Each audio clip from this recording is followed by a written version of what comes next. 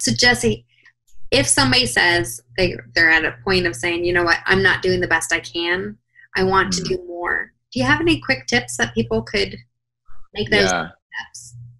Yeah. So I mean, the main thing is like I like the clean house uh, attitude, but at the same time, I don't want to get into anything that's not sustainable. So um, I'm going to give you the tips that I really give like any audience and any like just anyone because I really think anyone can do these and benefit from them.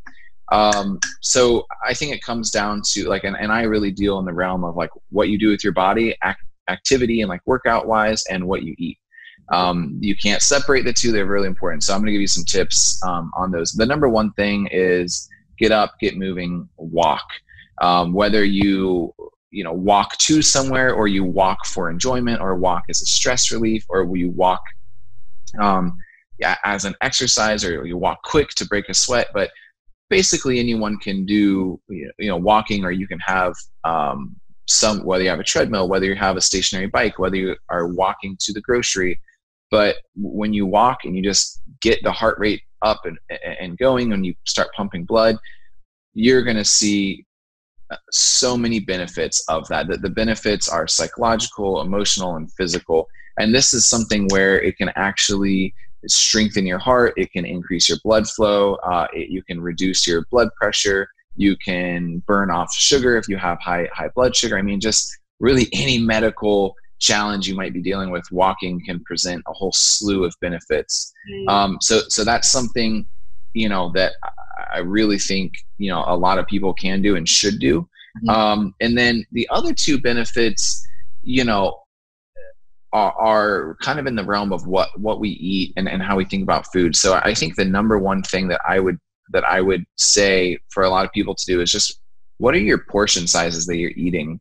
Mm-hmm. Um, be, and why this is so important is for for a couple reasons. We live in a world where food is so abundant it's so delicious. It's so easy to get. You can just be driving and you might not even be hungry, but you get triggered, you know, by a billboard or by the glowing arches or, you know, whatever your favorite food joint is. And we like literally, you know, we can just go and eat whatever we want, whenever we want, however much we want. And I need to watch that. And so not only is like food everywhere, but the food that is everywhere, um, it's there, there's addictive qualities to it um, and it's very high calorie. You know, there's extra sugar, there's extra oils in the foods, which makes it addictive. It makes it more fun. It releases more dopamine. So not only is it everywhere, but there's way more energy in it than maybe what our ancestors were eating. Um, so for that reason, we find ourselves packing on extra pounds like very easily. Um, so so yeah, like, and this is real. So we, we the number one thing is hey i need to watch watch my portions i need to eat relevant to myself today not my past self as a college athlete or as a high school athlete not what my spouse or my friend is eating. I need to eat relevant for me. Um, a really simple guideline for this is your proteins uh, would be the size of your palm. Your carbs would be like a handful you know your rice your bread um, like equivalent to 100 calories maybe like a slice of bread or something like that. Um, the vegetables is about the size of your fist, and your fats, the portion size is about the size of your thumb. Um, and if I have two, yeah, like on your plate, mm-hmm. um, and if so, like two or three of those, like depending on you know your your age and your your gender and your size and like different things, but in general, um, you know, so like that keeps things balanced, right? So if I look at my plate and it's like three or four servings of the carb and like no protein or no vegetables like that that portion scheme is out of balance um, so if i can look at my plate and I, I see the protein i see the carb i see the vegetable um, and then the, the fats which is probably like the sauce or maybe it's in the, the protein you know or whatever um, that's going to really keep me in balance this is going to keep my blood sugar in a better place i'm not going to feel as bloated uh, and my energy is going to be more uh, like sustained a sustained level of energy instead of spiking um, and I'm gonna I'm gonna have the nourishment that I need. So there's a lot of out of balance meals. Um, so that is very very balanced. It's very general. Um, it works for a lot of people, um, and that kind of leads into probably like my, my my third point that I actually do recommend a lot, which is fasting. whether it's taking a day of fasting from food or fasting for 18 or 24 hours, or maybe it's what they call intermittent fasting, which is basically like purposely skipping meals, um, or maybe you're just fasting from a certain type of food. I really think this is important because it really breaks your rhythm. It really breaks your cycle if that's like a, a bad cycle that you're in. Um, if I'm struggling with eating too much sugar, eating too many snacks, or maybe it's like fasting from you know a certain outlet like media or social media or or movies or something like that. Um, but fasting is just absolutely nutritious for the, the body and and the mind. Um, so I, I, do you know if you do have a lot of medical stuff going on, it's definitely good to consult a uh, a doctor. Um, but it can be extremely beneficial for different um, medical stuff. And even just different psychological things um, or physically it, it, can definitely help with weight loss. It can help with increasing energy. Um, if you feel like you're abusing food or certain flavors or certain things this can really help. Um, you can talk to me more about this too if you want to reach out. Um, you know i can definitely give you some guidelines. Um, and it's becoming more popular but there's definitely some do's and don'ts which is maybe another conversation but just the idea if it seems scary, if it seems very foreign, it, it is. Um, it so breaks the norm, but yet um, it just the benefits are insane. You know, because it kind of breaks that entitlement of oh, I can have whatever I want, whenever I want, however much I want. It really just shatters that, and I just think that's you know deep down we know that that's not the right attitude. Um, so when you purposely could, when you could have something but you purposely don't, there's so much strength in that um, and there's so much healing and health for our body in that. Um, so you know this this and this also can really reduce the amount of calories someone is taking just by like basically not not eating um, or not eating one day out of a week or one day out of a month or something like that. And then that gives you time like when you're not doing dishes and you're not cooking and you're not eating you're like oh i have a, like an extra couple hours today. This is amazing. Um, the first time you do it it definitely is definitely rough. Um, great but this is something, yeah. And, and I've had really good and really bad experiences with fasting. So um, there's, you know, I would definitely love to give anyone some tips on that. Um, but there's a lot of information online. There's different types of fasts, but just the idea of fasting, I just think is absolutely uh, incredible and positive and helpful. That is so great. So get up and move. Get up and move. Portion control and fasting, whether it's food fasting or some sort of uh, with, withholding from yourself. Yes, yes, a denial. Yeah. That's great. Thank you, Jesse. Yeah. So, Jesse, we've been talking a lot of different, we've, oh, reverse. so, Jesse, we've been talking a lot about the importance, about the what is important. Why mm-hmm. is it important? Why is our physical health important? You know, that's a good question and and i mean this is really the basis like your why. This is your purpose in pursuing a what or a how. And and this is what's going to give it me you know maybe you're looking at making some changes. Well you should look at well why do i want to do this first? And at the end of the day you have one body. You know you get you get one you know standard issue human physical body for your whole life. Um, what if what if I gave you like one t-shirt for your whole life and it's like you had to steward that, you had to take care of that, or one car. You know, we go through things in life and we don't realize, you know, like, hey, this is my only coffee cup for my whole life. This is my only computer I'll ever have. Like you would treat it so differently. Like one phone, if I was like, you cannot get a replacement screen, you cannot get a replacement, uh, you know, phone. Like this is it you man, you would really take care of it because you see the value in it. Um, and we have to realize that with our body. Like, yes, the medical realm is very advanced, but there's so many things there's not a pill for. There's not a successful surgery for it. And even the knowledge, like, man, doctors, if they're honest, they they're they are stumped so many times. And like, yes, they are trying their best, but we can't just say like, oh man, I, I can be reckless here because I can just get this fixed by a pill or by an operation. It's just not true. Like so I know so many people that have had surgeries that have made things more complicated. So we can't just take the easy way out. Like you have one body and you have to steward it. And the reason is is because if you don't have your health, like you what do you have you know if if if i can't go enjoy life my soul is going to suffer my heart my emotions um, if i'm not keeping my my brain sharp maybe my favorite memories are going to mm. fade away you know or maybe my ways of interacting with my my family or the world they're you know i could be limiting myself from a favorite passion or hobby if i if i start deteriorating or if i'm confined to the couch so there's so much life there's so many possibilities out there there's so many things to see um, and i have clients that that for different health reasons or different things they're dealing with that are preventable they can't go travel they can't go to certain places they can't get up and go and enjoy something. And there's so much that i could miss out on if i don't have health if i haven't invested into my my vessel my physical structure that gets me around in life.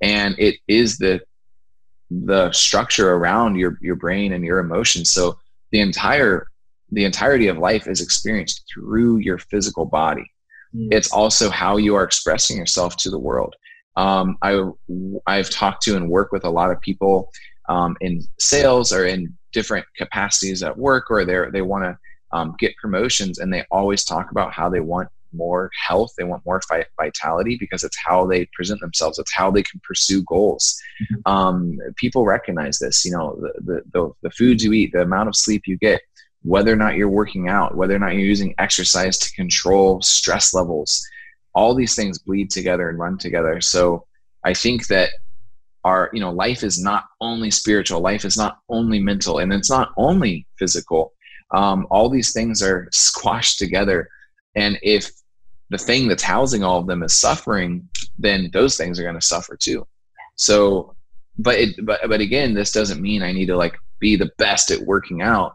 I, I do need to be aware of it, and I do need to be thinking about my physical health on a daily basis.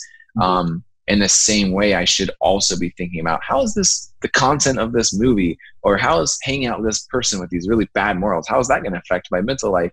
I need to be thinking about, man, if I eat this food, how's that going to affect my physical health? We need to be stewarding ourselves. I mean, just absolutely. What you said about if we only had one phone with one screen, how we. oh my goodness! I thought immediately. I thought I would stay in my purse until I needed it. I would take care of it very, very well. And I know I'm not as great a steward, but I'm on my journey. So I'm definitely mm-hmm. recognizing those points for myself as well. Thank you so much for that. That's that is so profound how you said that. We we do. We only get one body. We have yeah. one shot at this. So, but the great thing is, every 24 hours we get a new start. Wow. Yeah. We can we can make the new choice. Say, I'm mm. not going to have cocoa puffs for breakfast. I'm going to yeah. have oatmeal or eggs or something nutritious. So that's great. Yeah, and even if I even if I make a shift like that for three out of seven days a week. That's like way better than not having it, you know, like zero out of seven. Um, so, so yeah, again, we don't have to, we don't have to aim for perfection here. We don't have to aim from like zero to 60, um, but we should be focused on improvement. We should be focused on betterment. Uh, and, and that's like what I like to say is I don't need to be perfect today. I just need to be better. And, and so better is an, it's still incomplete, but it's it's farther along the process than than ground you know than than zero than than than not having it so I, I do need to improve i do need to get up and out of where i am um, but i don't need to deal with the stress and discourage potential discouragement of like aiming and shooting for perfection but if i'm going in that direction i'm going to be getting better and better is an improvement upon zero uh, so so i do need to come out of uh, out of that what whatever's not serving me i just need to be better that is great. I'm going to have a T-shirt made. I mean, I'm not joking. I don't. I need better. That's, That's, good. Sweet. Oh. Do it. Uh, well, thank you again for these tips. That is it's so helpful. It is so helpful, and I I'm so glad that you reframed that because in my mind, even as I was saying about going away from the cocoa puffs and having healthy meals, I wasn't thinking about three out of the seven days. My mind is is okay get rid of it altogether. Yeah. I i know i've struggled and suffered with that feeling of failure when i set my goals so lofty and high that and i don't reach them so i'm so glad that you interjected and and rephrased that yeah. it's just about well that's And that's something that I see a lot as a coach and why I'm I like love being a coach is because because I had to learn this for myself and like this I think is why I have lasting change but it's taken a long time. Like mm. if I was like hey do you want to be a new person in 8 years? It's like no I want to be a new person right now. It's like okay. You know and and we know that we just know that that's not really the case but we we're so frustrated with maybe where we're at that we want it. But this is what makes us a warrior is like being on that path and being on that path is virtuous because you're saying hey i'm not perfect but i know i don't want to be here and anywhere but here. Like that's the warrior spirit. Like when i work with people they don't feel like a warrior but like deep down i know that they can be because i have been and i'm not special like this whole training for warriors thing really when I think about it, I'm like, it was kind of like for me to learn how to be a warrior because it made me face my fears. And I said, Hey, I am not okay staying here. I need to get up and move. And I had to learn, not in like health, well, in some health ways, but a lot of it was mental and emotional. Um, anyway, it's like that getting on that journey, that is the path of a warrior. So like, I'm not, maybe I'm not a warrior today. Maybe someone doesn't feel like a warrior and they don't. And they don't look like one. They don't feel like one. They don't have the confidence of one when they call me. But that's why they're calling me. Is they, hey, I need a training camp. I need an academy where I can get trained. And that's what I love about training people is I can help people find that balance of like, look, we're in the back of our mind, like our long term goal maybe is like reaching for the stars, but like today, don't have that stress. Just focus on better. Like let's let's zoom back and look. Really, like, are we realistically going to go from zero to like level 10 perfection no um, or at least like maybe someone has the capacity i know that i didn't and i'm going to train people based on my experience because like this is what was real for me this is the lens i see it through and it works like that mentality has really served me the hot or cold like i'm either all on or i'm either all off. Mm. it's it's very brittle. Um, it's not like bamboo has the ability to to, to bend and it, that's what makes it strong. And for me that's how i've been able to kind of stick with it in life and like stay in really good shape or stay on my on my sharpest mental edge is because i'm kind of giving my I'm, I'm still driven to move forward but i'm also patient when i don't think i'm making progress because in that moment that is progress because that i might feel like i'm idling or like i'm in neutral but mm-hmm. i'm not going in reverse and like that is still is still progress so absolutely. That's excellent. Oh, I applaud that 100%. That's a very encouraging. Oh, good. Definitely going to get that t-shirt made. yeah. All right. Well, thank you for the for that why. It is so important for us to know our why and it's going to be the catalyst every single day for what it is why we're getting out of bed we need to know these things why we're why we're eating what we're eating just getting to that point of questioning is is so pivotal it just changes everything. So thank you for sharing that. Absolutely. Yeah, I, I live for these things. This is good.